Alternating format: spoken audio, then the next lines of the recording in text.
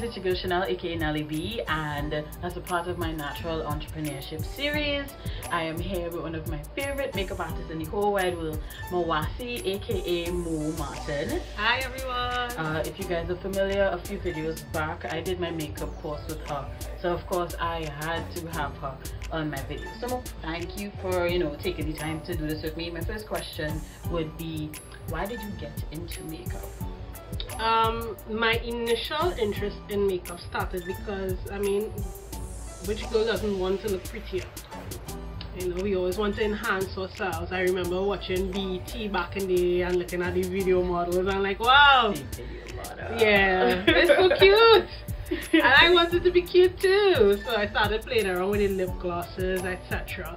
And then it evolved into a form of artistic expression. Um, I went through a dark period in my life and I found that it was a good form of therapy for me. The colors were so lifting to my mood and I got to express the darkness I was feeling within so it was also therapeutic. And now I've combined the two and do a bit of creative and beauty makeup as well. One of the things that drew me to mm. more too was your creative makeup. Uh, insert picture here. I'm going to show you guys a picture that she did of me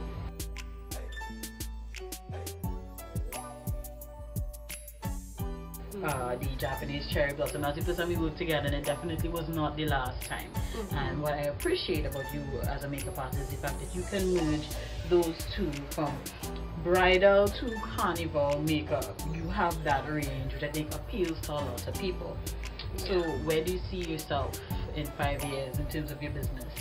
okay in five years um, if I am doing makeup it will just be for the love of it I want to expand my brand to having stores and um, like branches of makeup stores and supplying beauty supplies. I definitely see myself doing more teaching more workshops and um, doing it on large scales even if it's to be around the Caribbean and even writing a makeup book eventually. I like the idea of a makeup book. I don't really think I've seen a makeup book that tailors to in the Caribbean.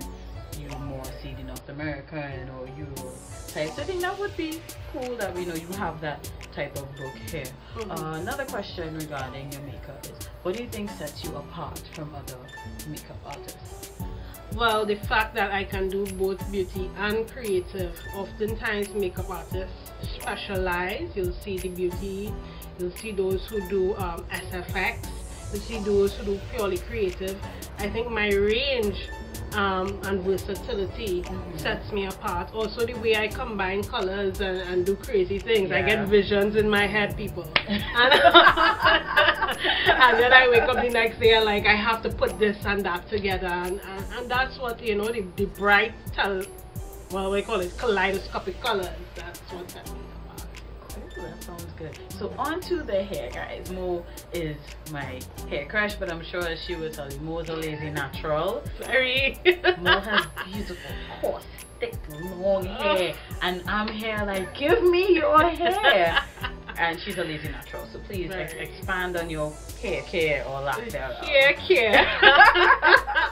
um I take better care of my hair. I could do the moisturizing and the LOC and all that and in my mind I'm like there for it. But oftentimes when people see my hair they're like oh my god hair and that is just genes. Whether I take care of my hair or not it could be dry as what it's not going to break off and fall apart my hair just grows so I am just lucky like that however I've made a resolution in my 30s to take better care of myself and I'm planning to move on to my hair soon. I don't know when, honestly. But I try, I try. I think if anything regarding influence on hair, folks, I have tried. Mm. I have tried with Mo and this She has hair. tried. She has I tried. tried. She is not. Um. She is free. she could wash her hands of me. Except for what the baggy method. Oh, oh my God, that was the best. That was the best because that was like America. I just like, oh wait, all I need to do is put a bag in my head and get up in the morning and my hair so much. For those of you who aren't familiar with the Yeah. baggy method, basically it's you know putting moisturizer or your oil on your hair Mhm. and then putting on a shower cap or plastic bag, hence the baggy method, and allowing extra moisture to come out of that. So we do it for me. If I need the extra moisture, I would do it overnight, and your hair feels soft and wonderful come morning time. And I need the extra moisture all the time. Okay, so it's She's like every week baggy to wigs. She's addicted. Yes, I am a wig addict. It allows versatility. It allows me not to have to touch my head every day. But this is not a wig. But, but natural hair is as versatile as a wig though. It's time consuming. a wig is just throw it and walk out the door. But, you know, I love my natural hair. I I grew up natural. I never relaxed my hair, and um, the wigs is just a way for me to experiment with something else Without the commitment. without the commitment because I'll never commit to anything but this. I think it's so interesting that I express myself through my hair rather than you express yourself through your makeup. Mm-hmm. Oh, what would happen if you started expressing yourself through your hair? I think I would see pink and green. You might see things sticking out sticking and out. going that high, and uh, it's gonna be crazy. I'm good.